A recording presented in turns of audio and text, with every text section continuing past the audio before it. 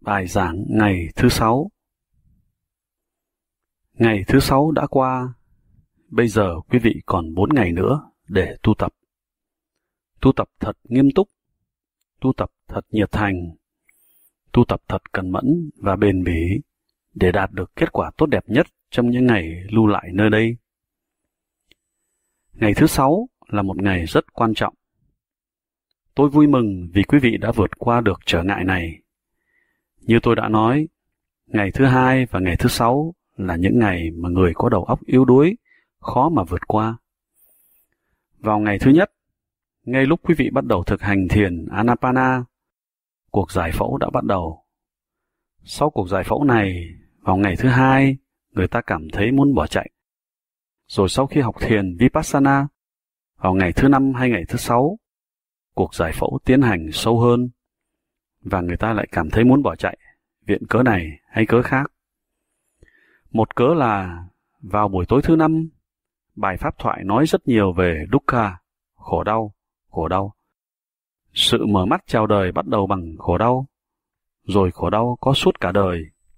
Khổ vì bệnh, khổ vì già, khổ vì chết, khổ vì gặp những điều không theo ý mình, khổ vì những điều mình ưa thích không xảy ra, Khổ, khổ hết kiếp này đến kiếp khác, khổ. Ồ, con đường này là con đường khổ đau. Người ta không muốn hiểu. Đây là giáo pháp rất bi quan. Tôi phải bỏ đi thôi.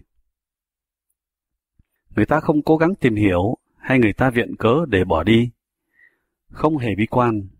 Không có một mảy may bi quan nào trong lời dạy này. Nếu lời dạy nói rằng chúng ta phải chịu khổ đau, rằng có khổ đau và không có lối thoát, thì phải đúng là bi quan yếm thế. Nhưng lời dạy này nói rằng có một lối thoát. Quý vị có thể thoát ra khỏi mọi khổ đau của mình, và quý vị có thể đạt tới giai đoạn hoàn toàn hết khổ đau. Quý vị có thể thọ hưởng an lạc thực sự, hòa hợp thực sự. Lời dạy ấy đầy lạc quan, đầy lạc quan.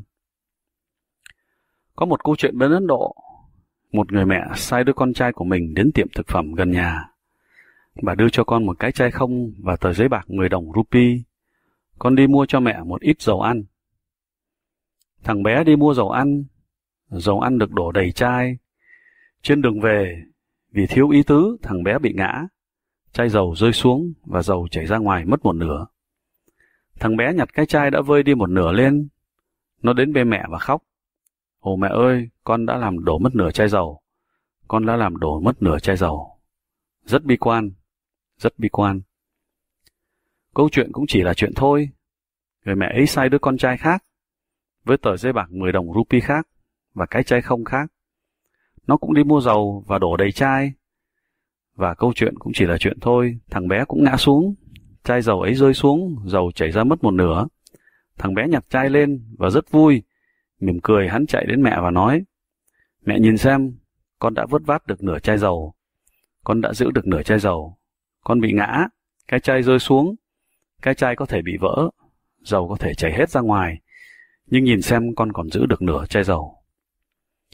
Cùng một hoàn cảnh, mỗi đứa trẻ đi đến một kết luận khác nhau. Một chai thì nửa đầy, chai kia thì nửa vơi. Một đứa khóc vì nửa chai vơi, rất là bi quan. Đứa kia vui với nửa phần đầy, ít ra còn được nửa chai. Nó rất vui, rất lạc quan. Câu chuyện cũng chỉ là chuyện thôi, người mẹ ấy lại sai đứa con trai thứ ba. Và câu chuyện cũng chỉ là chuyện, thằng bé cũng ngã xuống. Chai dầu ấy rơi xuống, dầu chảy ra mất một nửa. Thằng bé nhặt chai lên. Giống như thằng con trai thứ hai mỉm cười, hắn chạy đến nói, con vứt vát được một nửa chai. Con còn giữ được nửa chai dầu. Nhưng đứa bé này là đứa bé Vipassana. Không những lạc quan, nó còn thực tế. Ta đã làm đổ mất nửa chai dầu. Đây là sự thực chai dầu của mình bị vơi mất một nửa. Và không những là một người thực tế, đứa bé còn là một người chịu khó làm việc. Như trong Vipassana, bây giờ ta phải làm việc. Nó quyết định, ta phải ra sức chịu khó làm việc, đến chiều tối, ta sẽ kiếm được 5 rupee mua dầu đổ đầy chai này. Như vậy, tham ma không những chỉ lạc quan, tham ma còn thực tế, còn đầy tính chịu khó làm việc. Mỗi cá nhân đều phải làm việc, luôn luôn lạc quan, không bi quan, không chút mảy may bi quan yếm thế nào trong tham ma cả. Tất cả là lạc quan, lạc quan. Bây giờ quý vị đã có con đường để thoát khỏi khổ đau. Có khổ đau đấy, quý vị phải chấp nhận điều ấy. Một nửa chai bị vơi, quý vị phải chấp nhận điều ấy. Vậy thì làm sao đổ cho đầy? Có khổ đau đó, hãy chấp nhận khổ đau ấy và có cách thoát ra khỏi khổ đau. Hãy ứng dụng nó. Đây là điều quý vị đang làm. Quý vị đang chứng nghiệm sự thật. Đây không chỉ là sự luyện tập trí thức, chấp nhận sự thật về khổ đau này và chấp nhận phương cách thoát khỏi khổ đau này không phải vì tình cảm hay vì lòng tin. Quý vị đang chứng nghiệm nó. Khi làm việc với các cảm giác, quý vị sống trong trí tuệ ấy. Sự thật có sẵn đó và quý vị đang chứng nghiệm sự thật đó. Nó không phải là trí tuệ của ai khác, không phải là thứ trí tuệ vay mượn. Nó là trí tuệ của riêng quý vị, từ kinh nghiệm trực tiếp. Toàn thể tiến trình quan sát cảm giác giúp cho quý vị hiểu, vì quý vị đã bắt đầu chú trọng đến thực tại bên trong cơ cấu thân thể, sự thật ở tầng lớp thực nghiệm. Nếu không, suốt đời quý vị luôn chú trọng đến các đối tượng bên ngoài. Quý vị đang ham muốn, mà quý vị không hề biết mình đang ham muốn. Quý vị ham muốn các đối tượng bên ngoài, và các đối tượng bên ngoài này càng chiếm ưu thế, và chúng cứ thế khống chế quý vị. Quý vị quên mất mình đang ham muốn. Và quý vị cũng quên là vì lòng ham muốn, quý vị đã đánh mất sự thăng bằng của tâm và trở nên rất khổ sở. Và quý vị cũng không biết ra rằng mình đã trở nên nghiện sự ham muốn này. Ví dụ, nếu quý vị có nhu cầu tự nhiên, như quý vị đang khát nước chẳng hạn, quý vị cần nước, không có gì sai cả. Quý vị nỗ lực tìm nước để giải cơn khát. Quý vị đã cố gắng, không tìm thấy nước, nhưng quý vị mỉm cười. Được rồi, ta hãy ráng tìm nước lần nữa. Không tìm thấy nước. Được rồi, ta sẽ ráng tìm nước lần nữa. Quý vị không mất thăng bằng tâm trí. Nhưng một khi quý vị bắt đầu ham muốn, ồ, nước, vẫn không có nước. Điều gì sẽ xảy ra cho tôi? Tôi có thể chết. Nước, nước. Quý vị đã mất thăng bằng tâm trí. Quý vị trở nên khổ sở. Người ta không quan sát tất cả những điều này trong tâm. Nước không quan trọng đến như vậy. Quý vị đang ham muốn, ngay cả đến ham muốn cũng không quan trọng dường ấy. Ham muốn mang lại khổ đau. Khoảnh khắc mà quý vị bắt đầu ham muốn một cái gì đó, điều này có nghĩa là quý vị đang muốn một cái gì hiện không có ở đó. Quý vị không hài lòng. Quý vị không mãn nguyện với bất cứ cái gì đang có. Quý vị muốn cái gì không có ở đó, vốn không có ở đó. Vì thế, quý vị trở nên rất khổ. Nếu quý vị tiếp tục nhận ra rằng, này, tôi đang khổ, tôi đang khổ, thì sẽ có cách thoát ra khỏi khổ đau ấy. Nhưng quý vị không biết điều này. Quý vị bị nỗi khổ của sự ham muốn khống chế, và quý vị không biết mình trở thành kẻ nghiện sự ham muốn như thế nào. Rồi tình trạng trở nên tồi tệ hơn, người ta trở nên nghiện sự ham muốn. Khi quý vị bắt đầu quan sát cảm giác, sẽ tới một giai đoạn, sớm hay muộn trong một số trường hợp, quý vị bắt đầu nhận ra rằng thực ra quý vị không ham muốn đối tượng này hay đối tượng kia, mà là quý vị ham muốn một cảm giác đặc biệt nào đó. Khi quý vị ham muốn, ham muốn bất cứ một cái gì, thì có một cảm giác nảy sinh. Và khi cơm ham muốn đó được thỏa mãn, sẽ không còn cảm giác nữa. Quý vị lại muốn có cảm giác đó nữa, thế là quý vị phải ham muốn một cái gì khác. Một khi cơn ham muốn của quý vị được thỏa mãn, đối tượng đã đạt được, đối tượng trở nên nhàm chán, và quý vị lại muốn một cái gì khác. Đạt được cái gì khác đó, và nó lại hết thú vị. Quý vị lại muốn một cái gì khác nữa. Quý vị trở thành người nghiện sự ham muốn. Ví dụ có người đang sống ở căn nhà có một phòng ngủ, hắn hoàn toàn hạnh phúc. Bỗng nhiên trong tâm trí hắn hiện lên ý tưởng, căn nhà một phòng ngủ này ư? Ta phải có một căn nhà lớn, có ít nhất ba phòng ngủ. Được rồi, giả sử bây giờ hắn có một căn nhà ba phòng ngủ, rồi căn nhà phải được trang bị mọi tiện nghi, với đủ loại đồ đạc này, đồ đạc kia. Được rồi, căn nhà được bày biện đầy đủ đồ đạc. Rồi có đầy đủ đồ đạc ấy cũng không còn thú vị nữa. Bây giờ ta phải có máy này, máy kia, truyền hình, truyền hình màu, đầu máy video và đầu đĩa của Nhật, máy giặt, máy hút bụi và máy này, máy kia. Toàn căn nhà đầy ắp tất cả các máy móc, đồ đạc này. Ngay chỗ để thở cũng không có. Thế nhưng vẫn không có sự thỏa mãn. Vẫn còn tiếp tục ham muốn. ham muốn. Cái xe của tôi, ồ cái xe xoàng này, cái món đồ bằng kẽm này. Tôi phải có kiểu xe ấy cơ, có được chiếc Toyota thì sao nhỉ? Có chiếc Toyota xong, ồ không, tôi phải có chiếc BMW. Rồi không, không, tôi phải có chiếc Mercedes-Benz. Không, tôi phải có chiếc Rolls-Royce. Rồi không những chỉ chiếc Rolls-Royce kiểu này kiểu kia, mà kiểu mới nhất cơ. Và không những chỉ một hay hai chiếc, mà còn nguyên một đoàn xe Rolls-Royce. Nhưng vẫn chưa mãn nguyện. Tôi phải có máy bay trực thăng riêng. Người ta có máy bay trực thăng, tôi cũng phải có máy bay trực thăng riêng. Thôi được, có được chiếc máy bay trực thăng. Bây giờ tôi phải có phi cơ. Phi cơ riêng. Có được chiếc phi cơ. Bây giờ tôi muốn có chiếc phi thuyền. Tôi phải đi lên mặt trăng. Tôi cần phi thuyền để đi lên mặt trăng.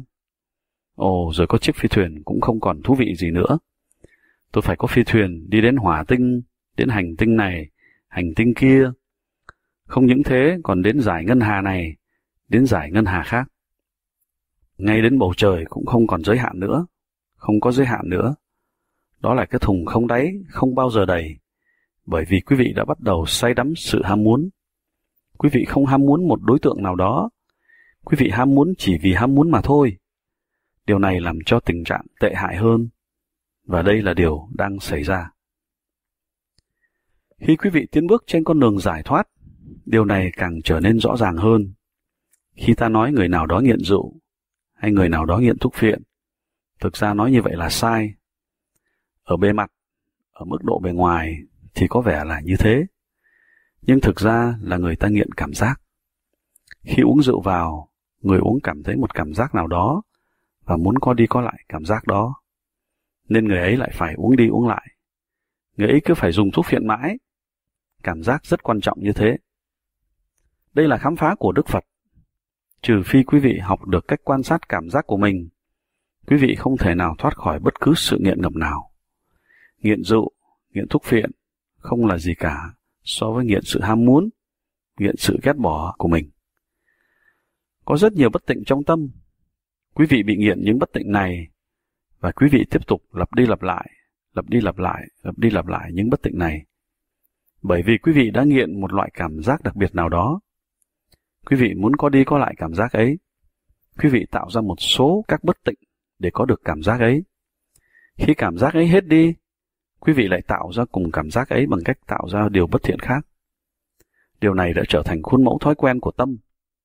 Làm sao để thoát ra khuôn mẫu thói quen ấy? Có khổ đau, nhưng cũng có cách thoát ra khỏi khổ đau.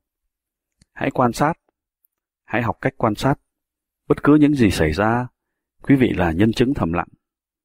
Đừng phản ứng, cứ như ngồi ngồi bên cạnh bờ sông, dòng sông qua đó, quý vị không dính dáng gì đến dòng sông cả dòng sông trôi chảy tự nhiên. Ngồi ở bờ sông, quý vị chỉ quan sát. Hơn thế nữa, quý vị đang cảm nhận luồng luân lưu của những rung động và những cảm giác khắp toàn thân. Hãy quan sát như một nhà khoa học đang nghiên cứu trong phòng thí nghiệm. Nhà khoa học đun nóng dung dịch hóa chất trong ống nghiệm. Một ít chất lỏng bị bốc hơi. Thứ hóa chất dễ bay hơi này bốc hơi lên và đi qua ống thủy tinh khác hơi ấy kết tụ lại và một lần nữa biến thành chất lỏng. Nhà khoa học chỉ quan sát, chỉ quan sát. Khi hóa chất bốc thành hơi, người ấy không than khóc. Ồ, hóa chất của tôi mất đâu rồi? Khi chất ấy hóa lỏng trở lại, vị ấy không vui mừng nhảy lên, vị ấy chỉ hiểu rõ tiến trình của nó.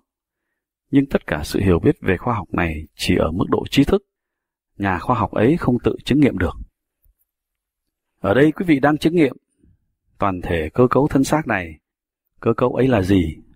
Nó vận hành ra sao? Cơ cấu tinh thần, cái tổng hợp của cả hai cơ cấu ấy, tác dụng qua lại giữa hai cơ cấu ấy. Cơ cấu này tạo ảnh hưởng đến cơ cấu kia như thế nào?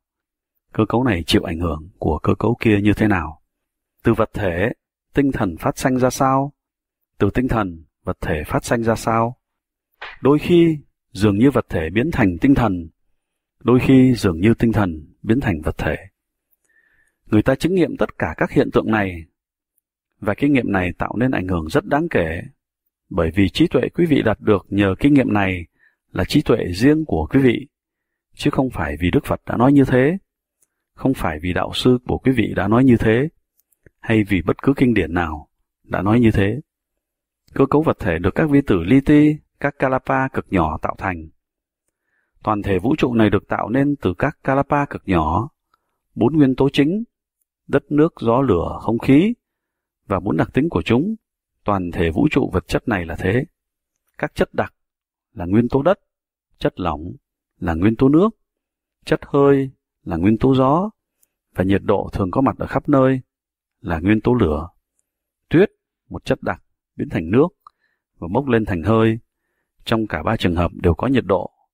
Tương tự như thế, trong cơ thể của ta, xương vân vân là nguyên tố đất, máu vân vân là nguyên tố nước, hơi khí vân vân là nguyên tố không khí và nhiệt độ thường có mặt ở khắp nơi là nguyên tố lửa. Nhưng đây không phải là mức độ sâu hơn của thực tại. Đặc tính của mỗi nguyên tố mà quý vị chứng nghiệm được ở mức độ cảm giác mới quan trọng hơn. Khi quý vị cố gắng quan sát nguyên tố đất, không phải là quý vị tìm hạt bụi trong nguyên tố này, chẳng có lợi gì cả. Hay quan sát nguyên tố nước, quý vị đừng tìm kiếm giọt nước trong nguyên tố ấy, chẳng có lợi gì cả. Cảm giác quý vị cảm nhận được vì đặc tính ấy là cảm giác gì? Quan sát nguyên tố đất, toàn thể lĩnh vực trọng lượng, từ cảm giác nặng nề đến cảm giác nhẹ nhõm nhất, là đặc tính của nguyên tố đất. Ví dụ, xi măng bột vốn nhẹ, nhưng khi đặt lại, nó trở nên nặng nề. Khi đặt lại, nó cứng lên. Khi bị xay thành bột, nó trở nên mịn và mềm. Quý vị cảm nhận được các cảm giác thuộc loại ấy. Quý vị cảm nhận được cảm giác nặng nề, chắc đặc, thuộc loại rất cứng. Khi các cảm giác ấy tan đi, thì quý vị cảm nhận được cảm giác giống như nguyên tố đất, nhưng bây giờ rất mềm. Đặc tính của nguyên tố đất xoay quanh toàn thể lãnh vực trọng lượng. Tương tự như thế, toàn thể lãnh vực chuyển động, từ chuyển động rất chậm cho đến chuyển động rất nhanh, là nguyên tố không khí. Toàn thể lãnh vực nhiệt độ, từ cực lạnh đến cực nóng, là nguyên tố lửa và nguyên tố nước có bản chất dính liền, có tính kết hợp. Toàn thể cơ cấu nằm trong giới hạn thân thể của quý vị. Nó kết dính vào nhau. Đây là nguyên tố nước. Đây là điều quý vị chứng nghiệm ở trong tất cả các cảm giác mà quý vị đã và đang chứng nghiệm cho đến bây giờ và trong tất cả các cảm giác mà quý vị sẽ chứng nghiệm trong tương lai. Quý vị chỉ thấy có bốn nguyên tố này thể hiện qua cảm giác này hay cảm giác kia. Có khi các nhóm ly tử ly ti sẽ nảy sinh với nhiều nguyên tố đất chiếm ưu thế, hay nguyên tố nước chiếm ưu thế, với nguyên tố không khí chiếm ưu thế, hay với nguyên tố lửa chiếm ưu thế. Chỉ có thế thôi, bốn nguyên tố này có đó. Người hành thiền lão luyện sẽ không bị ảnh hưởng.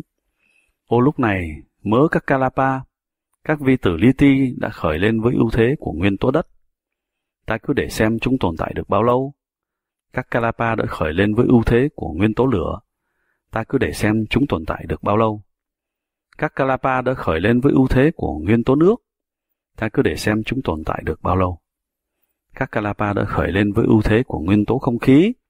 Ta cứ để xem chúng tồn tại được bao lâu. Ta không phản ứng lại, ta chỉ quan sát. Và những cảm giác này là sự biểu hiện của các nguyên tố khác nhau. Chúng nảy sinh, và sớm hay muộn gì rồi cũng sẽ diệt đi. Chúng nảy sinh và sớm hay muộn gì chúng cũng sẽ diệt đi. Điều này càng lúc càng trở nên rõ ràng hơn. Như nhà khoa học, quý vị đang thăm dò sự thật, thăm dò bản chất của những Kalapa này, và quý vị cũng đang thăm dò sự thật của tâm quý vị. Quý vị hiểu các Kalapa này nảy sinh ra sao? Chúng sinh sản như thế nào? Tâm bị chúng ảnh hưởng ra sao? Quý vị phản ứng như thế nào? Và phản ứng ấy gia tăng làm sao? Toàn thể hiện tượng ấy trở nên rất rõ ràng rất rõ ràng. Các Kalapa này, các vi tử li ti, chúng khởi lên như thế nào? Chúng phát sinh ra sao? Quý vị cung ứng bốn loại thức ăn cho chúng, hai loại thức ăn vật chất, hai loại thức ăn tinh thần. Những thức ăn vật chất và tinh thần này chịu trách nhiệm trong việc tạo ra các loại Kalapa khác nhau trong cơ thể. Quý vị sẽ bắt đầu chứng nghiệm điều này khi quý vị tiến bước trên con đường giải thoát. Điều này sẽ dần dần trở nên rõ ràng hơn. Sự hấp thụ vật chất thứ nhất là thực phẩm. Thực phẩm quý vị ăn vào một, hai, ba lần một ngày. Bất cứ loại thực phẩm nào quý vị ăn vào, những kalapa của loại thực phẩm đó sẽ bắt đầu nảy sinh với ưu thế của nguyên tố này hay nguyên tố kia. Khi quý vị tiến bộ trên con đường tu tập và ngày càng trở nên nhạy cảm với cảm giác của mình hơn, tiến trình này sẽ trở nên rất rõ ràng. Ví dụ, một hôm quý vị ăn món thật cay, món cay Ấn Độ, toàn là ớt. Sau đó quý vị ngồi thiền. Quý vị có cảm giác nóng bỏng ở chỗ này, cảm giác nóng bỏng ở chỗ kia. Đó là nguyên tố lửa. Quý vị đã thọ nhận thức ăn đó, và bây giờ quý vị cảm thấy nguyên tố lửa. Các nguyên tử khởi lên với ưu thế của nguyên tố lửa. Hay quý vị đã ăn thức ăn cũ, hay món có nhiều dầu mỡ, và ngồi thiền, nguyên tố đất, quý vị cảm thấy rất nặng nề, rất nặng nề. Nếu quý vị ăn thức ăn lành mạnh, cơ thể của quý vị sẽ trở nên khỏe mạnh. Nếu quý vị ăn thức ăn không lành mạnh, cơ thể của quý vị sẽ trở nên ốm yếu, bệnh hoạn. Đây là luật tự nhiên. Sự hấp thụ vật chất thứ hai là từ bầu khí quyển xung quanh quý vị. Từng khoảnh khắc, cơ thể này cứ liên tục hấp thụ không khí xung quanh nó. Nếu sống ở xứ lạnh, khí hậu lạnh, người ta có một loại cơ thể. Nếu sống ở xứ nóng, khí hậu nóng, người ta có một loại cơ thể khác. Những loại Kalapa này phát sinh vì lớp không khí bên ngoài.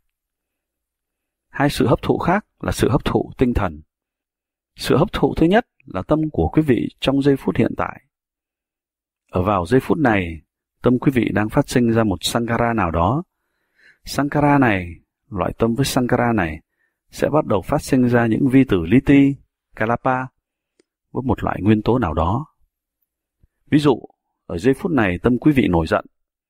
Các Kalapa đã bắt đầu nảy sinh là các Kalapa với ưu thế của nguyên tố lửa. Cháy bừng, cháy bừng, cháy bừng. Hay quý vị tạo ra Sankara sợ hãi và quý vị cảm thấy run rẩy, nguyên tố không khí, nguyên tố không khí. Loại đồ ăn nào quý vị cung cấp ở mức độ tinh thần vào giây phút này, đây là cách tinh thần chuyển hóa thành vật chất, hoặc tinh thần ảnh hưởng đến vật chất, hay làm cho vật chất nảy sinh theo một phương cách riêng nào đó. Sự hấp thụ thứ tư là các Sankara cũ của quý vị. Trong từng khoảnh khắc, thực tại của tâm bị Sankara ảnh hưởng, hoặc là quý vị cứ tiếp tục tạo ra các Sankara hết khoảnh khắc này đến khoảnh khắc khác, hay là quý vị ngưng tạo ra Sankara mới. Khi quý vị thực tập thiền Vipassana và quý vị không tạo ra bất cứ Sankara nào ngay trong khoảnh khắc này, thì mớ tồn kho cũ sẽ trồi lên trên bề mặt. Mớ tồn kho cũ này là kết quả của các Sankara cũ của quý vị. Khi quý vị đã củng cố vững vàng trong phương pháp thiền, điều này cũng trở nên rõ ràng trong đời sống hàng ngày của quý vị. Một điều gì khó chịu xảy ra trong đời quý vị. Trước khi điều khó chịu đó xảy ra ở bên ngoài quý vị, một cảm giác rất khó chịu đã bắt đầu nảy sinh bên trong. Điều gì dễ chịu xảy ra trong đời quý vị, một cảm giác rất dễ chịu đã nảy sinh bên trong. Khi hạt giống được gieo trồng là một cảm giác, thì quả gặt hái được trước tiên cũng là một cảm giác. Ví dụ, hạt giống của sự giận dữ, Sankara giận dữ của quý vị. Khi quý vị gieo hạt giống của sự giận dữ, quý vị cảm thấy rất nóng nực. Kết quả của loại Sankara đó, khi trổ ra, sẽ trổ ra cùng với loại cảm giác ấy. Một lần nữa, với hơi nóng, rất nóng. Như vậy, cái Sankara tôi đang tạo ra bây giờ là một sự hấp thụ vào và nó tạo ra nguyên tố lửa trong thân. Cái Sankara trong quá khứ nếu là Sankara của giận dữ, quả của nó sẽ có nguyên tố lửa. Cứ thế, Sankara hiện tại và Sankara quá khứ là hai lý do khác để các loại Sankara khác nhau nảy sinh. Khi tiếp tục quan sát, quý vị hiểu rằng càng phản ứng lại những cảm giác này, quý vị càng tạo ra các Sankara mới. Quý vị càng tự làm khổ mình. Nếu quý vị ngưng tạo ra Sankara mới, thì các Sankara cũ sẽ trồi lên trên bề mặt. Chúng tạo ra cảm giác. Quý vị mỉm cười trước cảm giác. Cảm giác này cũng không lâu bền. Để tôi xem cảm giác này tồn tại được bao lâu.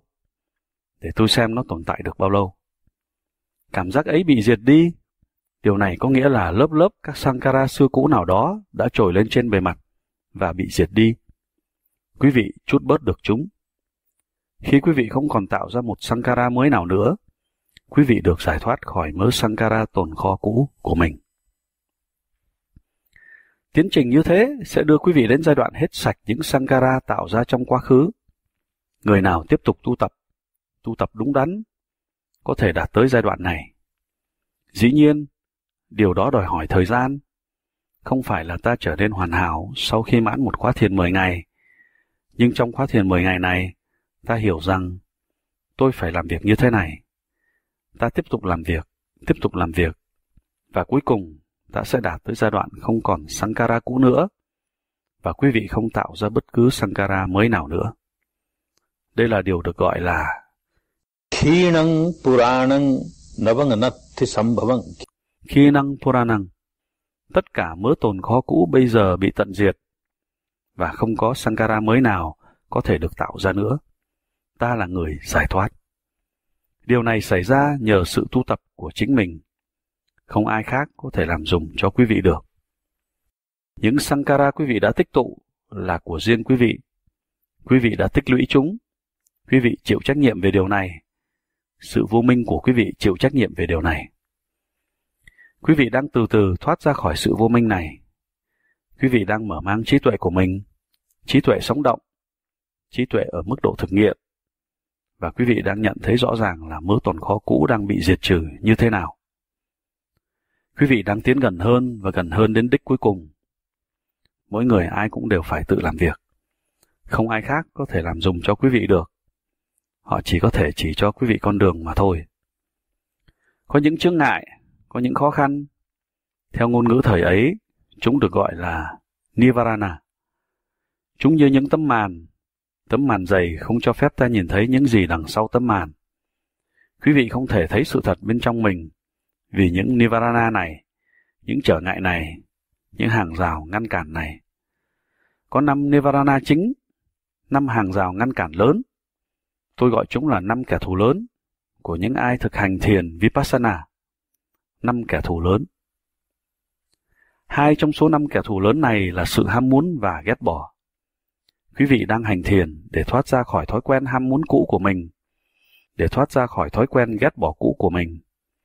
Và trong khi hành thiền, vì vô minh, quý vị làm gia tăng gấp bội lòng ham muốn, gia tăng gấp bội tâm ghét bỏ.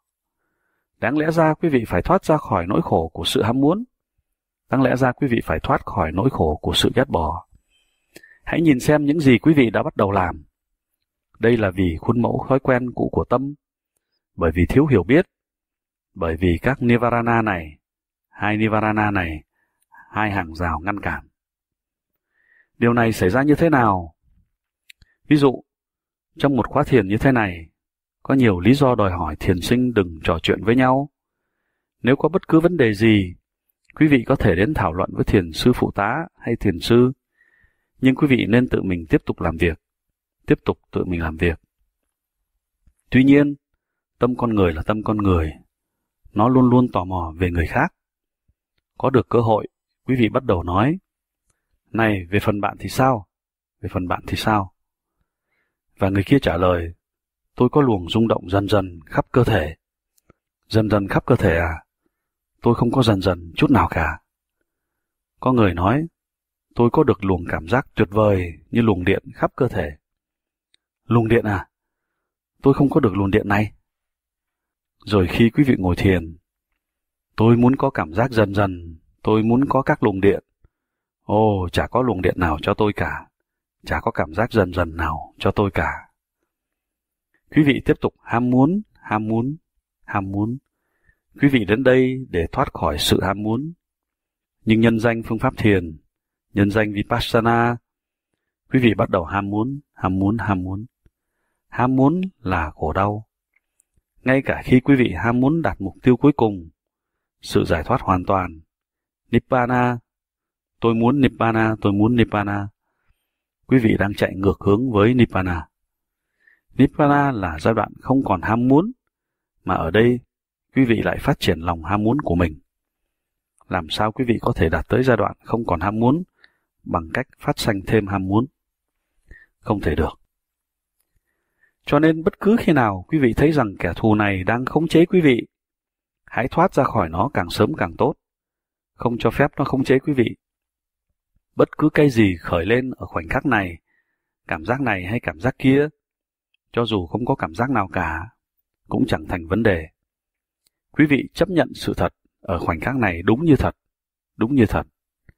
Cái gì không có ở đó, Quý vị ước muốn nó. Rồi thì khuôn mẫu thói quen cũ tự nó tái diễn. Quý vị đang muốn cái không có ở đó, và điều này trở thành ham muốn. Quý vị bắt đầu bị ràng buộc vào sự ham muốn này. Nó trở thành nỗi đau khổ lớn lao cho quý vị. Tương tự như thế với sự ghét bỏ. Một ví dụ, quý vị phải ngồi một giờ à Adithan, giờ hành thiền với sự quyết tâm mạnh mẽ. Quý vị không được mở mắt ra, quý vị không được duỗi chân ra, quý vị không được duỗi tay ra. Bằng cách này hay cách khác, quý vị chịu được nửa giờ, chịu được 45 phút. Sau đó, nỗi thống khổ bắt đầu. Rồi cũng cái tâm con người ấy, tò mò về người khác. Quý vị được yêu cầu không mở mắt ra, nhưng vẫn hé mắt chút xíu. Cái gì đang xảy ra với những người khác? Chỉ có mình tôi khổ vì đau hay sao? Quý vị rất tò mò về người khác. Vào lúc ấy, quý vị nhận thấy rằng ai ai cũng ngồi yên như tượng Phật. Điều này có nghĩa là họ không có đau đớn gì cả. Chỉ có tôi đau hay sao? Cái đau của tôi chẳng hết đi. Cái đau của người khác đã đi mất. Ồ, cái đau này. Sự ác cảm của quý vị đối với cái đau này đã gia tăng gấp bội. Thầy tôi cứ nói rằng mọi sự đều là anicca, anicca, vô thường, vô thường. Có thể đúng như thế, nhưng cái đau này là vĩnh viễn, nó không phải là vô thường. Đã bao nhiêu lần tôi nói với cái đau này, nhà ngươi là vô thường, nhà ngươi là vô thường, nhưng cái đau vẫn không hết. Cái đau này là vĩnh viễn, cái đau này là vĩnh viễn. Chán ghét, chán ghét, chán ghét. Kẻ thù này đã khống chế quý vị. Quý vị đang làm gia tăng gấp bội tâm ghét bỏ. Quý vị đến đây để thoát ra khỏi sự ghét bỏ, nhưng quý vị đã làm gia tăng gấp bội tâm ghét bỏ này. Còn hai kẻ thù lớn khác nữa, quý vị cần hiểu rõ rằng tất cả những kẻ thù ở đây là những tật xấu, những tật xấu tinh thần, vốn đến với thân quý vị, đến với tâm quý vị với tư cách là khách, rồi chúng trở thành chủ nhân của căn nhà này. Chúng không muốn ra đi, và khi quý vị thực hành Vipassana, chúng không thể ở lại, chúng phải ra đi. Cũng như quý vị bật công tắc đèn lên, ánh sáng tới, bóng tối phải ra đi. Quý vị không phải nói với bóng tối, ồ người hãy đi đi, bây giờ có ánh sáng rồi. Khi quý vị thực hành Vipassana, những tật xấu này phải ra đi, nhưng chúng không muốn đi. Nên từ bên trong quý vị, chúng phản kháng. Đừng thiền Vipassana nữa, phương pháp thiền này không tốt cho bạn tôi không muốn đi. Bạn hãy ngưng Vipassana. Hai loại phản kháng bên trong đã được nêu ra. Một sự phản kháng lớn lao khác sẽ làm cho quý vị cảm thấy hết sức buồn ngủ. Đêm qua quý vị ngủ rất ngon. Nhưng ngay lúc quý vị ngồi thiền, quý vị cảm thấy rất buồn ngủ, hết sức buồn ngủ. Một kẻ thù rất lớn đang khống chế quý vị. Phải chống lại nó. Hãy thở mạnh lên. Nếu thở mạnh lên không giúp ích được, và nếu không phải là lúc ngồi thiền chung một giờ, quý vị hãy đứng dậy và tập với hơi thở mạnh. Nếu làm vậy cũng không giúp được, thì hãy bước ra ngoài và đi bộ từ 5 đến 10 phút. Ngay khi bước đi, hãy quan sát cảm giác hay hơi thở của mình, rồi đi vào và ngồi trở lại. Tiếp tục chống lại kẻ thù này. Nếu không, khi bị kẻ thù này khống chế, quý vị không thể hành thiền được. Một sự phản kháng khác nữa ở bên trong Phản kháng này hoặc sẽ làm cho quý vị rất buồn ngủ hay rất dao động. Quý vị cảm thấy muốn làm một chút cái này, một chút cái kia, một chút cái này, một chút cái kia, nhưng không hành thiền. Đang ngồi một giờ Adithan, một phản kháng bên trong đến với quý vị. Quý vị đã mang cả thân này đi ra ngoài thiên đường. Rồi quý vị nhận ra rằng, Ồ, oh, tôi đang ở trong giờ Adithan. Tại sao tôi lại ra ngoài đây? Đây là sự phản kháng từ bên trong. Sự phản kháng này không cho phép quý vị tu tập đúng đắn. Đây là một kẻ thù nguy hiểm. Kẻ thù thứ năm là sự nghi ngờ. Đủ loại mọi nghi ngờ đến trong tâm. Phương pháp thiền này là gì? Loại phương pháp gì thế? Quan sát hơi thở, quan sát hơi thở. Cho dù tôi đã không quan sát hơi thở, hơi thở lúc nào cũng có đó. Tôi được lợi lộc gì bằng cách quan sát hơi thở? Bây giờ quan sát hơi nóng, quan sát hơi thở ra vào, Tôi đang làm gì thế này? Tôi đã điên rồi chăng? Loại thiền gì thế này? Sự nghi ngờ này sẽ không cho phép quý vị tu tập. Đôi khi có nghi ngờ khác về vị thầy của quý vị. Đây là loại thầy như thế nào? Tôi trông đợi một minh sư vĩ đại từ Ấn Độ. minh sư với chữ M hoa. Loại minh sư gì thế này? Ông ta không có đầu sủ tóc rối. Ông ta không có để râu rậm rạp hay râu dài. Ngay cái đầu cạo chọc cũng không có. Và ông ta không có chẳng hạt đeo quanh cổ. Không có ấn son giữa trán. Không có dấu hiệu gì của một minh sư cả. Loại minh sư gì thế này? Trông ông ta không giống kẻ ngông cuồng quái dị. Trông ông ta như con người bình thường. Và ông ta không có năng lực siêu nhiên. Ông ta không thể bay trên không. Ông ta không thể độn thổ. Ông ta và các thiền sư phụ tá của ông ấy cứ hỏi, về phần bạn thì sao? Họ đúng ra phải biết về chúng tôi chứ. Cớ sao lại hỏi thiên sinh? Họ không có phép thần thông nào cả. Nghi ngờ, nghi ngờ, và quý vị không thể tu tập được. Loại nghe hoặc thứ ba xảy đến. Phải, phương pháp thiền này tốt, vì nhiều người tiếp tục trở lại và được lợi ích. Họ tiếp tục tới không biết bao nhiêu lần. Chắc chắn là phương pháp thiền này tốt. Vị thiền sư cũng giỏi, vì nhiều người nghe theo ông ta. Có lẽ ông ta giỏi, nhưng tôi không giỏi. Tôi không thích hợp với phương pháp thiền này. Người ta nghi ngờ về khả năng của mình. Tôi thấy không thích hợp. Đây không đúng lúc cho tôi. Môi trường này không phải chỗ cho tôi. Tốt hơn tôi nên rời khỏi chỗ này. Và người ta cảm thấy muốn bỏ đi. Ồ, nghi ngờ, nghi ngờ, nghi ngờ. Nếu bất cứ một trong ba nghi ngờ này khống chế quý vị, quý vị sẽ ngưng hành thiền. Năm Nivarana, năm kẻ thù, hãy cẩn thận. Đừng cho phép chúng khống chế quý vị. Rồi quý vị sẽ thấy rằng mình đang tiến bộ, đang tiến bộ, đang tiến bộ. Phương pháp thiền này rất huyền diệu, không liên quan đến giáo điều nào, không liên quan đến lòng tin mù quáng nào, không liên quan đến sự sùng bái dị đặc nào. Phương pháp thiền này là khoa học thuần túy về thân và tâm. Sự tương quan giữa thân và tâm bắt nguồn từ vô minh. Tâm không ngừng phản ứng lại các cảm giác như thế nào, không ngừng tạo ra các bất thiện như thế nào. Và bởi vì những bất thiện này, một loại cảm giác nào đó nảy sinh, và khi loại cảm giác nào đó nảy sinh, quý vị phản ứng lại nó với nhiều bất thiện hơn. Đó là một vòng luẩn quẩn, làm cho quý vị khổ, càng ngày càng khổ. Khi bắt đầu quan sát nó, quý vị bắt đầu thoát ra khỏi khổ đau. Đây là luật tự nhiên của vũ trụ. Nó không liên quan gì đến tổ chức tôn giáo này hay tổ chức tôn giáo khác. Chân lý là chân lý, chân lý phổ quát, chung cho tất cả, định luật phổ quát. Tham ma là luật chung cho tất cả, luật tự nhiên. Điều này sẽ trở nên rõ ràng hơn nếu quý vị tiếp tục hành thiền. Luật tự nhiên là thế, là nếu quý vị tiếp tục phản ứng lại bằng sự bất thiện, quý vị sẽ tiếp tục gia tăng gấp bội khổ đau của mình. Nếu quý vị ngừng phản ứng này lại, quý vị đã bắt đầu thoát ra khỏi khổ đau. Ngay trong quá khứ điều này đã có hiệu quả. Bây giờ nó cũng có hiệu quả. Nó sẽ có hiệu quả trong tương lai. Ngay trong quá khứ, cho dù có sự hiện hữu của một vị Phật hay không, Đức Phật đã từng nói, cho dù có ta hay không, cho dù có ai trở thành bậc giác ngộ hay không, luật tự nhiên ấy vẫn nguyên như thế. Luật ấy trường cửu, bao giờ cũng vậy. Hễ người nào phát sinh ra điều bất thiện, người ấy chắc chắn phải đau khổ. Bao giờ cũng vậy. Hễ người nào thoát khỏi điều bất thiện, người ấy chắc chắn sẽ được giải thoát khỏi khổ đau. Đức Phật khám phá ra định luật ấy. Định luật này vẫn còn áp dụng. Người ta không biết cái gì đang xảy ra sâu tận bên trong. Họ phát sanh ra bất thiện bằng cách nào, người ta chẳng hay biết gì cả. Sự giác ngộ của Đức Phật là Ngài đi sâu vào tận bên trong và tìm hiểu xem đối với các cảm giác này, người ta cứ tiếp tục phát sanh ra bất thiện như thế nào. Người ta cứ tiếp tục phát sanh ra khổ đau như thế nào. Nhờ quan sát cảm giác, người ta có thể thoát khỏi khổ đau, thoát khỏi điều bất thiện như thế nào.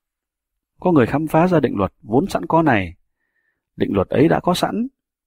Và rồi, vì lòng từ bi, người ấy bắt đầu chỉ dạy định luật ấy cho người khác, truyền phương pháp thiền này cho người khác. Người ta áp dụng theo phương pháp ấy và thoát khỏi khổ đau. Điều này đã xảy đến cho hàng ngàn người thời Đức Phật còn tại thế. Và trong 25 thế kỷ sau đó, bất cứ ai thực hành cũng đã thu thập cùng một lợi lạc. Ngay trong tương lai, những ai thực hành cũng sẽ thu thập được cùng lợi lạc ấy. Ngày nay, bất cứ ai thực hành cũng sẽ thu thập được cùng lợi lạc như thế. Luật là luật, nó không bao giờ thay đổi, cùng một thứ luật. Esa Thammo Sanantano Thamma là vĩnh cửu, cùng một thứ luật phổ biến khắp nơi. Vào thời của Đức Phật, rất nhiều người khốn khổ thoát khỏi khổ đau. Không phải vì được Đức Phật làm phép lạ hay thần thông, mà vì phương pháp thiền này đã được truyền dạy cho họ. Một ví dụ là Agulimala, một thanh niên đầy uất hận. Anh ta đã thề sẽ giết một ngàn người. Nhiều oán hận đến thế. Anh ta đã giết chết 999 người và đang kiếm người thứ một ngàn. Bây giờ làm sao nhớ được bao nhiêu người anh ta đã giết? Bất cứ ai anh ta giết, anh ta cắt một ngón tay cột thành vòng đeo quanh cổ. Anh ta cứ tiếp tục đếm bao nhiêu ngón. Đó là lý do tại sao anh ta được gọi là Angulimala, người đeo vòng chuỗi các ngón tay. Khi kiếm người thứ một ngàn, anh ta gặp Đức Phật, hay đúng hơn, Đức Phật vì lòng từ bi, đến gặp anh ta để giúp anh ta thoát khỏi đau khổ. Không thần thông, không phép lạ, Đức Phật truyền dạy cho anh ta cũng cùng một phương pháp thiền. Anh ta bắt đầu nhận ra rằng anh ta là con người khốn khổ, đầy những khổ đau. Anh ta bắt đầu nỗ lực tu tập. Và nỗ lực, nỗ lực, nỗ lực anh ta thoát khỏi khổ đau. Anh ta đạt đến đích cuối cùng, trở thành con người hoàn toàn giải thoát. Một arahant đầy lòng từ bi, đầy tình thương, đầy hảo ý đối với người khác. Và rồi anh ta đi hết làng này đến làng khác, hết thôn này đến thôn khác, hết thị trấn này đến thị trấn khác, giảng dạy rằng mọi nơi ai cũng rất khổ. Bản thân tôi là người vô minh. Vì vô minh, tôi đã hại chính mình, tôi đã hại những người khác. Giống như tôi, có những người tự hại mình và hại những người khác. Nếu những người ấy có được phương pháp thiền huyền diệu này, chắc chắn họ sẽ thoát khỏi khổ đau. Chắc chắn họ sẽ thoát khỏi khổ đau. Như thế, vì lòng từ ái, anh ta đi đến nhiều nơi khác nhau và giảng dạy thăm ma, giảng dạy phương pháp thiền này cho người khác. Dù đã là tu sĩ, vẫn có người nhận ra anh ta. Ô, người này chính là Angulimala, người đã giết mẹ tôi, hay cha tôi, vợ tôi, chồng tôi, con trai tôi. Cũng Angulimala đó. Vì lòng giận dữ, người ta bắt đầu ném đá vào anh ta, đánh anh ta. Máu bắt đầu từ người anh chảy ra, nhưng từ trong tâm chỉ có lòng từ bi tuôn chảy. Ồ, những người khổ đau, tôi cũng khổ đau không kém. Vì vô minh, tôi đã hại chính mình, tôi đã hại những người khác. Hãy nhìn xem phương pháp thiền này sẽ giúp quý vị như thế nào. Quý vị sẽ thoát khỏi mọi khổ đau. Hãy thử phương pháp thiền này, hãy thử phương pháp thiền này. Đầy lòng từ bi, chọn cuộc đời đầy lòng từ bi. Như vậy nhiều người dễ dàng thoát được khổ đau. Dĩ nhiên, nhờ thực hành phương pháp thiền này, hiểu rằng chỉ nội phương pháp thiền này thôi cũng có thể giải thoát chúng ta ra khỏi khổ đau. Nếu chúng ta không thoát ra khỏi điều bất thiện, nếu chúng ta không thoát ra khỏi sankara của mình, chúng ta sẽ không thoát khỏi khổ đau. Một ví dụ khác, một người đàn bà rất khổ đau tên là Kisa Gutami, lấy chồng sau nhiều năm vẫn không có con. Bà ta ao ước có được một mụn con. Nhiều năm sau đó, bà ta sanh được một đứa con. Bất hạnh thay, hai năm sau con của bà chết. Bà phát sinh ra nhiều ràng buộc vào đứa con của mình, nay đứa bé lại chết đi. Sự khổ đau của bà đi đến cùng tột, không chịu đựng nổi. Bà ôm xác đứa con vào lòng và không chịu cho ai mang xác ấy ra chỗ thiêu, ra bãi tha ma. Không, con tôi chưa chết, nó đang ngủ. Xin hãy làm cho nó thức dậy. Xin hãy làm điều gì đó. Người ta nói, bà ơi, thằng bé đã chết, không có cách gì mong đợi cậu bé sẽ tỉnh lại. Nhưng bà ta đã hoàn toàn mất trí rồi. Không, tôi không thể bỏ nó được. Con trai tôi chưa chết. Con trai tôi chưa chết. Xin làm ơn làm điều gì đó cho mẹ con tôi. Xin hãy làm ơn. Một người sáng suốt đã nói với bà ta rằng không ai có thuốc nào để cứu sống cái xác chết này cả. Bà nên đến gặp Đức Phật. Ngài có trung tâm thiền ở đây. Hãy đến đó, có thể Ngài sẽ giúp cho bà được. Bà đi đến gặp Đức Phật, đặt xác con trước chân Đức Phật, bà khóc, khóc lóc và nói, Con trai tôi chưa chết, người ta bảo nó đã chết, cho dù nó có chết, xin Ngài hãy làm ơn ra tay cứu nó, xin làm ơn. Đức Phật thấy rằng bà quá xúc động, tâm trí đã mất thăng bằng, đến nỗi lời giảng tham ma thông thường sẽ không có hiệu quả gì. Ngài có cách dạy riêng. Ngài bảo bà, được rồi, bà hãy đi vào phố, xin vài hạt mè. Bà ta rất vui mừng, Đức Phật sẽ làm gì đây cho con trai tôi? Đức Phật nói tiếp, Khoan, hãy lắng nghe đúng đắn sự chỉ dẫn này. Bà phải mang về đây những hạt mè từ nhà nào không có người chết, từ gia đình nào đã không có người chết. Vâng vâng thưa ngài, con sẽ mang về. Bà đi đến từng nhà, từ đường này sang đường khác. Ở từng nhà, bà hỏi xin vài hạt mè. Con trai tôi đã chết và Đức Phật sẽ làm điều gì đó cho chúng tôi. Xin làm ơn cho tôi vài hạt mè. Ồ, bà có thể lấy mấy bao đầy mè cũng được. Cầu chúc cho con trai của bà sống trở lại. Rồi bà ta hỏi, thế trong gia đình của quý vị có ai bị chết không? Chủ nhà trả lời với khuôn mặt buồn so. Vâng, cha tôi đã chết. Hay mẹ tôi đã chết. Hay anh tôi đã chết. Hay trong nhà tôi, người này người kia đã chết. Bà đi đến căn nhà kế bên, căn nhà kế bên, căn nhà kế bên. Bà ta không tìm được một căn nhà nào mà không có người chết cả. Đến lúc ấy đã hết ngày, và bà tỉnh ngộ. Không có nhà nào, không có danh đình nào, không có người chết. Đây là luật tự nhiên. Con người sanh ra để rồi sẽ chết, không sớm thì muộn. Bây giờ tâm của bà đã thích hợp để học thăm mà. Bà ta trở lại gặp Đức Phật, và Ngài truyền cho bà thăm ma, cũng cùng thăm ma ấy. Quan sát hơi thở ra vào, quan sát cảm giác, đi sâu hơn, đi sâu hơn, sâu hơn và bà sẽ thấy rằng tất cả các khổ đau của bà sẽ biến đi, hết lớp này đến lớp khác. Bà Kisa Gotami này trở thành một vị Arahan hoàn toàn giải thoát. Bà dành hết cuộc đời mình phục vụ chúng sanh. Có nhiều người mẹ như tôi, nhiều chị em gái như tôi. Ồ, họ khổ sở lắm. Nếu họ có được thâm huyền diệu này, họ sẽ thoát khỏi khổ đau. Vì lòng từ bi, trong tinh thần tham ma, và ta tiếp tục phục vụ chúng sinh.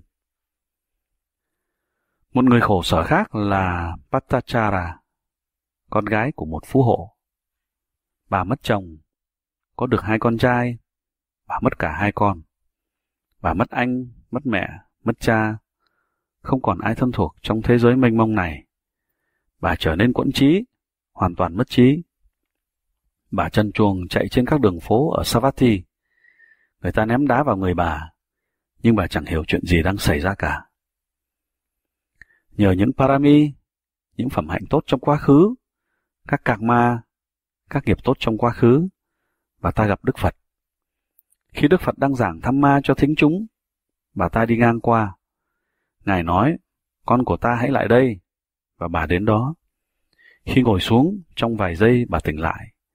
Bà nhận ra rằng mình đang trần truồng. Có ai đó ném cho bà một tấm vải để che thân. Từ đó bà được gọi là Patachara.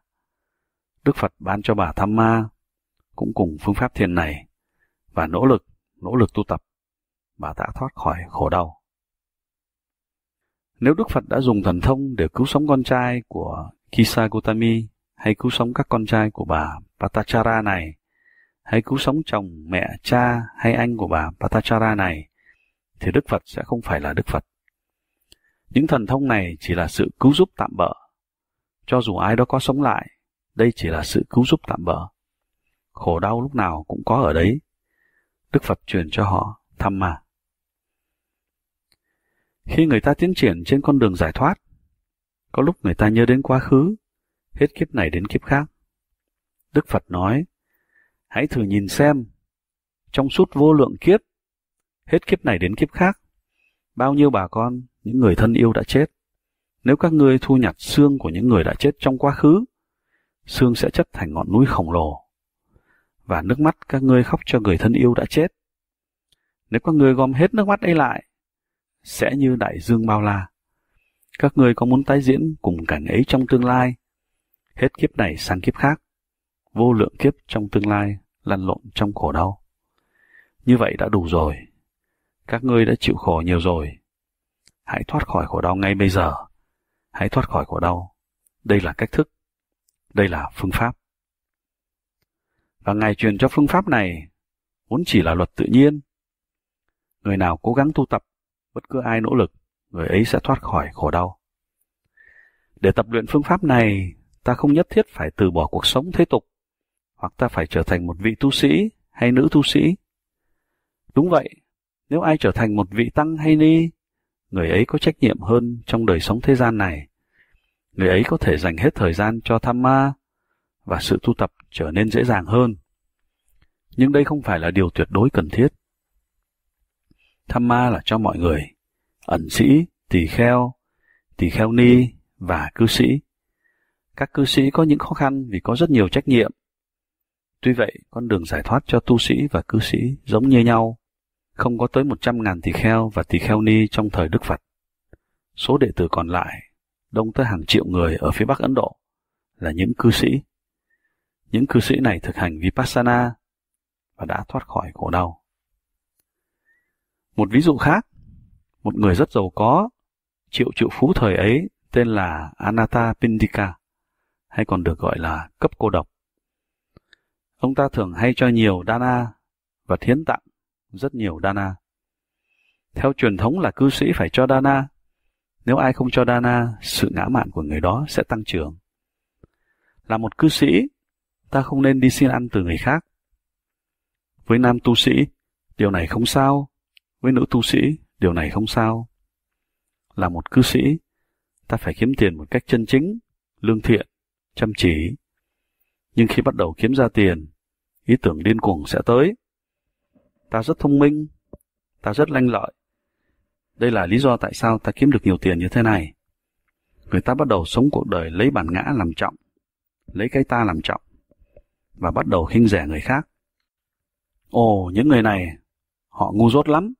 Họ không thông minh, không lanh lợi, không chăm chỉ cần cù. Đó là lý do tại sao họ không kiếm ra tiền. Còn ta, nhìn xem, ta rất thông minh, ta rất lanh lợi, ta rất cần cù. Cái ngã này nổi lên, điều này rất nguy hiểm. Tất cả mục đích cho Dana là để làm suy giảm cái ngã này, nhưng cũng chính Dana ấy có thể làm cho người ta trở thành con người lấy bản ngã làm trọng.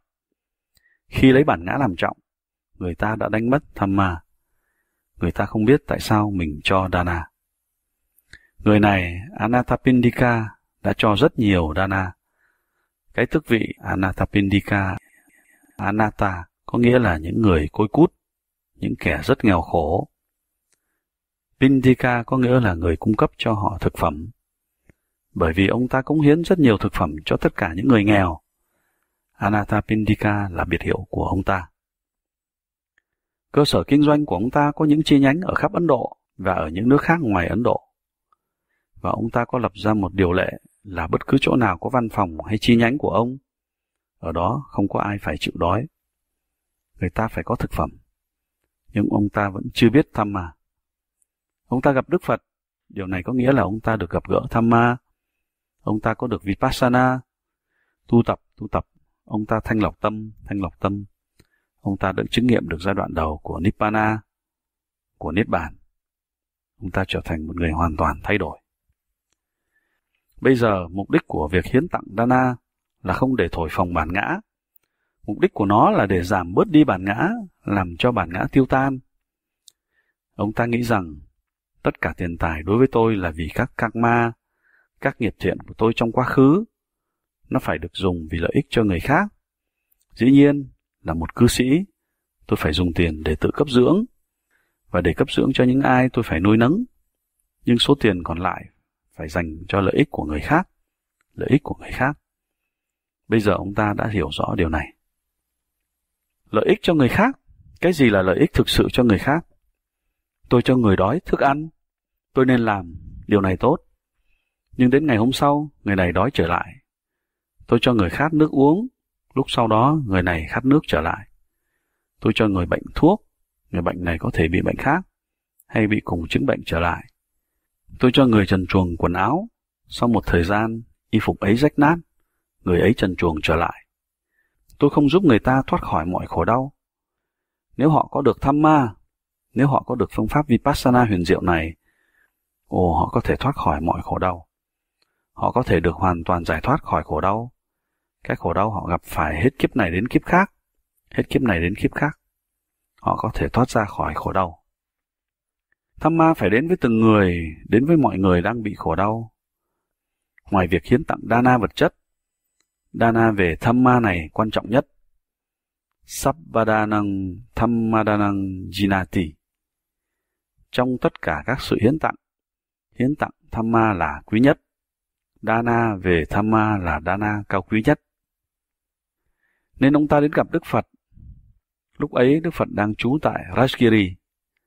Anathapinika đảnh lễ Ngài và hỏi, Thưa Ngài, tại sao Ngài không đến Savatthi? Anathapindika lúc ấy đang sống ở Savatthi, thành phố đông dân nhất Ấn Độ thời bấy giờ. Có nhiều người ở đây, giàu hay nghèo, ai cũng khổ cả. Nếu Ngài có một trung tâm thiền ở đấy, thưa Ngài, nhiều người sẽ được lợi lạc. Xin Ngài hãy đến đó. Đức Phật mỉm cười, nên ông ta hiểu là Đức Phật đã nhận lời. Trở về nhà, ông ta tìm một trung tâm thiền, nơi Đức Phật có thể bắt đầu giảng dạy tham ma cho dân chúng. Một trung tâm thiền không nên ở ngay giữa thành phố, với nhiều tiếng động ồn ào, xô bồ. Trung tâm cũng không nên ở xa đến nỗi người ta khó tới được. Đang lúc tìm kiếm một nơi thích hợp, bình yên nhưng không quá xa thành thị, ông ta gặp được một khu vườn, một khuôn viên. Khuôn viên ấy rất an tĩnh, rất yên lặng, rất thích hợp cho việc hành thiền. Và ông dò hỏi, ai là chủ nhân của khuôn viên này? Rồi ông ta biết rằng hoàng tử con vua là chủ nhân, hoàng tử Jeta. Ông ta đến gặp hoàng tử, thưa hoàng tử, tôi muốn mua khuôn viên của ngài. Vị hoàng tử nổi giận, tôi ở đây không phải là để bán khuôn viên ấy. Khuôn viên ấy là nơi tôi tiêu khiển, tôi sẽ không bán. Xin ngài vui lòng, tôi phải mua miếng đất ấy bằng bất cứ giá nào. Để tống khứ ông ấy đi, vị hoàng tử nói. Ông có biết giá của miếng đất này không? Ông phải trải tiền vàng đúc lên khắp miếng đất ấy. Đấy là giá của miếng đất. Việc mua bán đã thỏa thuận xong, tôi sẽ trải tiền vàng đúc lên toàn miếng đất ấy. Ông ta mang xe chất đầy vàng đúc và bắt đầu trải. Vị hoàng tử nói, ông có điên không? Không có mảnh đất nào giá trị đến như vậy. Ông làm gì thế? Ông có điên không? Ông ta trả lời, không, tôi không điên. Miếng đất này sẽ trở nên rất giá trị. Đức Phật sẽ đến đây giảng dạy tham ma huyền diệu. Tất cả sự giàu có của tôi không có nghĩa lý gì so với một người nhận được tham ma, học được phương pháp thiền Vipassana. Ngay dù chỉ một người thoát ra khỏi khổ đau, sự giàu có của tôi không có nghĩa lý gì so với điều ấy. Và tôi biết là không phải chỉ một người, mà hàng ngàn người sẽ được lợi lạc. Như thế, ông ta xây một trung tâm thiền cho 10.000 người có thể ở được, nơi họ có thể ở lại để thực hành thiền, để học hỏi thăm ma. Chủ ý của ông ta là phục vụ người khác. Trước đó, ông ta đã thực hành hạnh hiến tặng Dana. Bây giờ Dana của ông ta là làm sao càng ngày càng nhiều người được lợi lạc. Ông ta đã hiến tặng, không phải để thổi phồng bản ngã của mình, mà để giảm bớt bản ngã, làm tiêu tan bản ngã, chỉ để phục vụ người khác phục vụ người khác. Vì vậy karma, nghiệp trong quá khứ, người chịu phú ấy trở thành kẻ bần cùng. Trong một thời gian ngắn, ông ta không có đồng nào.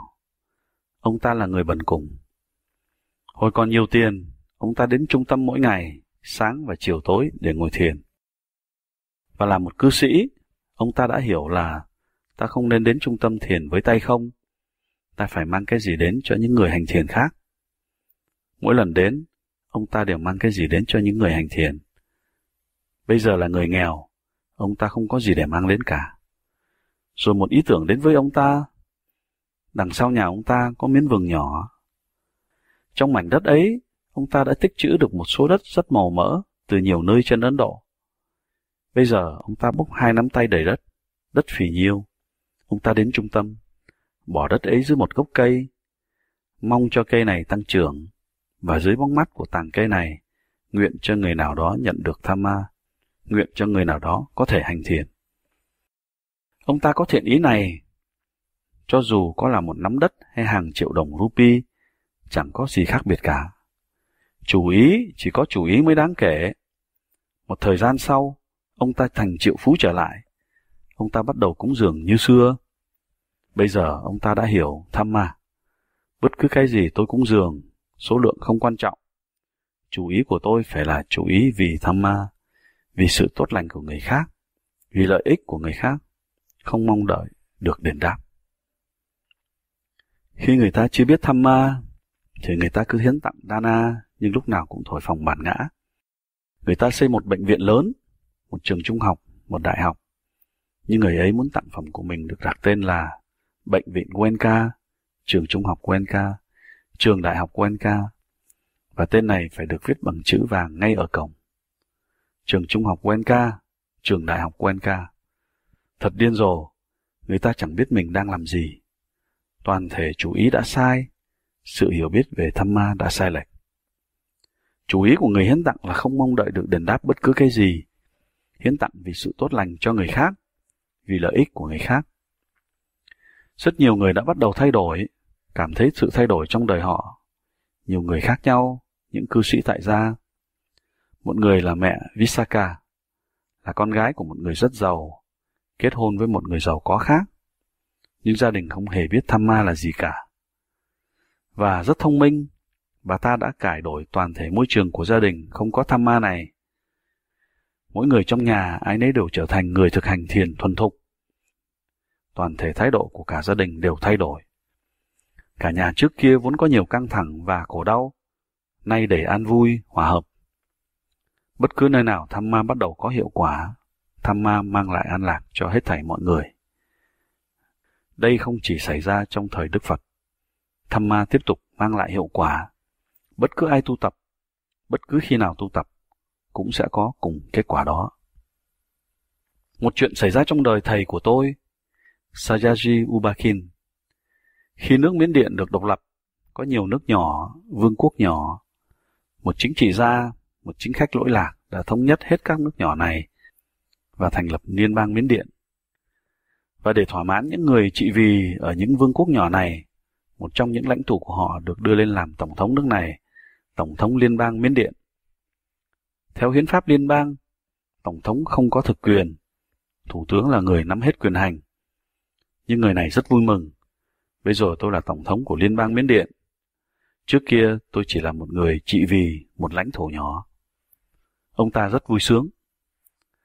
Một buổi tối ông ta mở dạ tiệc lớn. Tất cả các nhà ngoại giao và những nhân vật tai mắt trong thành phố đều đến dự. 7 giờ rưỡi tối là lúc dạ tiệc bắt đầu. Mọi người đã tới. Tất cả quan khách đã tới. Nhưng chủ tọa buổi dạ tiệc không thấy đâu. 7 giờ 45 vẫn không thấy chủ tọa. 8 giờ tối, chủ tọa không tới. Vị thủ tướng lo ngại. Chuyện gì đã xảy ra? Ông ta phái người đến tư dinh tổng thống ở tầng 1. Những người được phái quay trở lại nói, Thưa ngài, ông ta không tới được. Tại sao? Chuyện gì đã xảy ra? Ông ta đã uống rượu nhiều quá, nằm lăn trên sàn, bất tỉnh. Ông ta không tới được. Ồ, nhưng không có chủ tọa, làm sao dạ tiệc có thể bắt đầu? Đây là dạ tiệc của Tổng thống. Tỉnh hay bất tỉnh bằng mọi cách. Hãy mang ông ta đến đây, để chúng ta bắt đầu buổi dạ tiệc. Hai người phụ dìu ông ta tới. Nửa tỉnh nửa say, nấc cục, nấc cục, ông ta tới. Ông ta được đặt vào ghế chủ tọa. Bữa tiệc bắt đầu. Món ăn thứ nhất được dọn ra, Món ăn thứ hai được dọn ra. Khi món ăn thứ ba được bưng ra, ông ta bắt đầu nôn mửa, nôn mửa. Vị thủ tướng thấy vậy rất buồn. Chúng ta gọi nước chúng ta là đất nước tham ma. Chính phủ của chúng ta là chính phủ tham ma. Và chúng ta có hạng tổng thống như thế này ư? Có thể làm gì được? Ngày hôm sau, khi vị tổng thống tỉnh rượu, ông ta điện thoại cho thủ tướng. Nếu ông muốn, tôi sẽ từ chức. Nhưng tôi không thể cai rượu được. Không thể được. Theo truyền thống hoàng gia, khi người kế vị ngai vàng, có nghĩa là con trưởng của vua, lúc mới ra đời, món thứ nhất được mớm bằng muỗng vàng hay muỗng bạc là rượu thượng hạng. Đây là món đầu đời, thưa ông. Kể từ dạo đó, tôi đã uống quá nhiều rượu. Một nửa lượng máu của tôi đã trở thành rượu. Tôi không thể cai rượu được. May mắn thay cho người này, bởi vì các parami, các phẩm hạnh tốt trong quá khứ một hôm ông ta đi ngang qua chức trung tâm thiền của Sayaji Ubakin, thầy tôi. Chỉ vì tò mò ông ta bước vào. Ngày ấy là ngày cuối khóa, và ông ta trông thấy mặt ai nấy đều rạng rỡ, vì cuộc giải phẫu bây giờ đã xong, và môn thuốc xoa vết thương đã được trao truyền. Mọi người ai nấy đều mỉm cười, mỉm cười. Chuyện gì xảy ra ở đây vậy? thiền được giảng dạy ở đây. Loại thiền gì thế? thiền Anapana, Vipassana được dạy ở đây. Sinh ra là một Phật tử, ông ta đã đọc về thiền Anapana, thiền Vipassana trong kinh điển. Nhưng ông ta không hề biết ai chỉ dạy phương pháp thiền này, không biết kết quả đạt được như vậy. Mọi người ai nấy cảm thấy rất an lạc, rất hòa hợp. Tôi chưa bao giờ có được an lạc trong cuộc đời, tôi chưa bao giờ biết hòa hợp là gì. Tôi là người rất dễ dao động. Thưa Ngài, tôi có thể đến, tôi có thể theo học một khóa được không? Được, được. Cho dù là thái tử hay người bần cùng, bất cứ ai, mọi người có thể đến đây và thực hành thiền. Tôi sẽ phải làm gì? Ông sẽ phải thọ năm giới. Năm giới? Ồ, không không không, bốn giới thôi. Không có gì để nghi ngờ về giới thứ năm cả. Tôi không thể giữ giới đó. Như vậy ông hãy đi ra khỏi đây, chúng tôi không thể chấp nhận ông được. Vị thái tử muốn được an lạc, nên ông ta bắt đầu tranh luận mà cả. Chỉ một hớp thôi, thưa ngài, mỗi ngày chỉ chút xíu thôi. Không, không được đâu. Cứ hai ngày một lần. Không, không được. Cứ năm ngày một ngụm. Không được đâu, ông hãy đi đi, chúng tôi không thể dạy cho ông, trừ phi ông có được một nền tảng vững chắc. Năm sila, năm giới này là nền tảng vững chắc của thiền. Rồi vị thái tử nói, được rồi, bằng cách này hay cách khác, tôi sẽ tự kiểm soát lấy mình. Tôi sẽ đến, thưa ngài, nhưng với một điều kiện là sau khóa học, tôi về nhà, ngài sẽ không còn cản tôi uống rượu nữa. Làm sao tôi có thể cản ông được? Về đến nhà, ông là chủ nhân của chính ông. Ông có thể uống nhiều theo ý muốn, nhưng không uống ở đây. Tôi khuyên ông cũng không nên uống ở nhà. Nhưng nếu ông uống ở nhà, làm sao tôi có thể cản ông được? Nhưng trong 10 ngày này, ông không được uống rượu. Được rồi thưa ngài, tôi muốn an lạc, tôi muốn hòa hợp. Và ông ta thực tập cũng cùng phương pháp như quý vị đang tập ở đây. Sau 10 ngày, ông ta về dinh tổng thống tư dinh của mình. Nếu có ai uống rượu cách xa khoảng 100 thước, ông ta cũng nói, hôi quá, ai đang uống rượu thế? Thái tử không thể chịu nổi mưu rượu khi người khác uống rượu. Rõ ràng là ông ta không thể uống rượu được nữa. Trong 10 ngày ấy, không có ai nói với ông ta rằng nếu ông về nhà uống rượu, ông sẽ xa vào địa ngục này hay địa ngục kia. Chẳng ai làm thế cả. Trong tham ma, không có dọa dẫm. Chuyện gì đã xảy ra? Tại sao ông ta uống rượu? Ông ta đã nghiện cảm giác của rượu. Khi ông ta học cách quan sát cảm giác của mình, tất cả các sankara nghiện rượu đã đi mất. Chứng nghiện rượu của ông ta đã hết. Làm sao ông ta có thể uống trở lại cho được? Nếu điều này chỉ xảy ra với một người, Tổng thống Liên bang Miến Điện, có lẽ có phép màu nào đã xảy ra. Nhưng điều này xảy ra cho hàng ngàn người tham dự khóa thiền, nghiện rượu, nghiện thuốc phiện, nghiện cái này hay nghiện cái kia. Và hơn thế nữa, nghiện sự ham muốn, nghiện sự ghét bỏ, nghiện sự sợ hãi, nghiện phiền muộn. Tất cả những tâm bệnh này biến mất một cách dễ dàng. Tham ma huyền diệu như thế, tham ma khoa học như thế. Tham ma không có tính cách giáo phái như thế. Tham ma chung cho hết thảy mọi người như thế. Tham ma hướng vào kết quả như thế. Tham ma mang lại kết quả ngay tại đây và ngay bây giờ, ngay trong kiếp sống này. Thật tốt là quý vị đã tham dự một khóa thiền. Hãy tận dụng 4 ngày kế tiếp.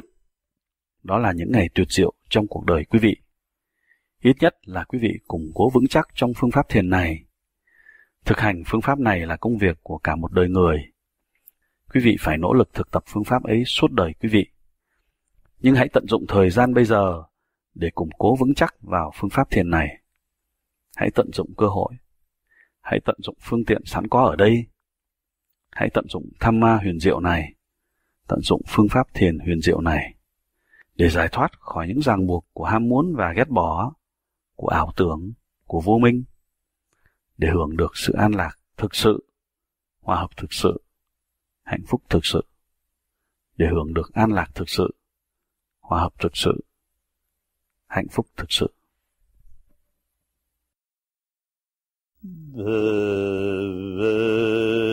yaptı. Sev mengelen devetti sev mengelen devetti